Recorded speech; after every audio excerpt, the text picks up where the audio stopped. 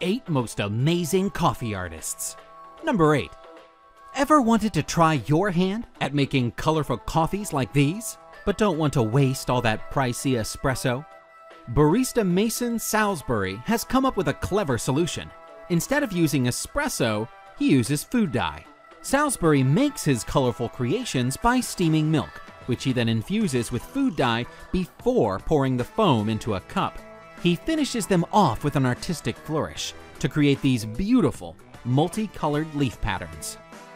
Number 7. Kazuki Yamamoto's work encompasses a broad range of designs, from animals to popular anime characters. The creations he concocts are so adorable that customers hesitate to drink them.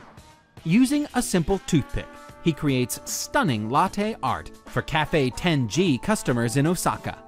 He also posts his works on Twitter at George underscore 10G, where he has amassed almost 200,000 followers, all fascinated by his latest creations.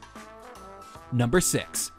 You are looking at the work of Nowtoo Sugi. She began using colored bartender syrups to paint on coffee, and while she isn't the only one to create colorful lattes, she is certainly one of the best.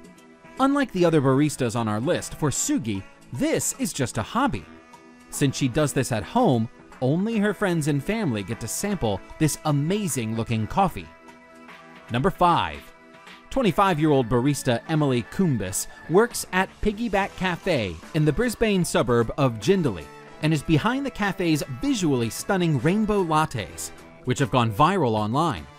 Coumbis first studied the technique online, which involves dropping regular blue, pink, and yellow food dye into milk, and decided to try it out herself. She passed the test with flying colors, and now makes up to 300 cups a week, with patrons coming from as far away as Singapore to enjoy her creations. The Piggyback Cafe is now sharing its success with those in need.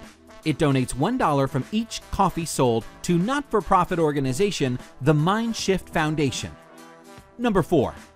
Korean coffee artist Kang Bin Lee makes insanely detailed latte art using a technique he calls cremart.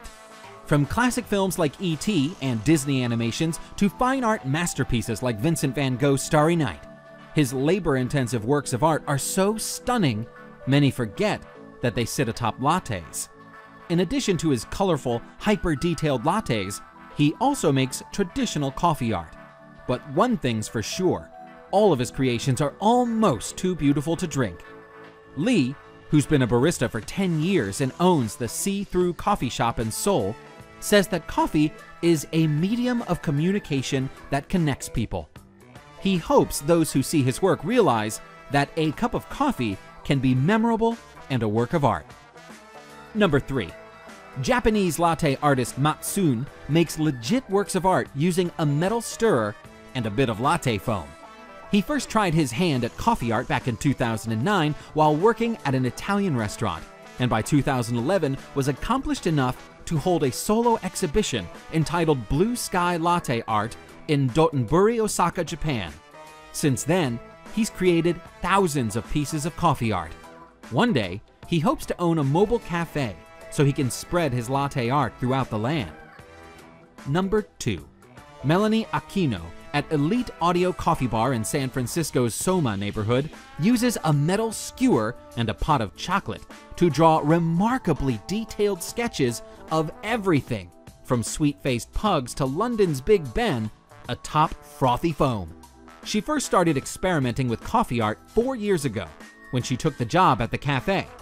Recently, Mashable has named her the best coffee artist in the world most coffee art is made by free pouring steamed milk into a shot of espresso and adjusting the pour to create certain patterns and designs. Aquino's drawing method is unique, and she knows of only a few artists who attempt it. Elite charges $5 extra for her sketches, which take about 3 to 5 minutes to make, and she now only creates using chocolate coffee drinks because the design lasts much longer. Number 1. While many baristas have mastered the art of sketching beautiful flowers and hearts, very few can compete with Michael Breach. The New York based painter, who has been called the Da Vinci of coffee art, can whip up any image that is presented to him with just a toothpick and foam. The now famous barista spends his days showcasing his talent to an ever growing fan base around the world, which includes numerous celebrities.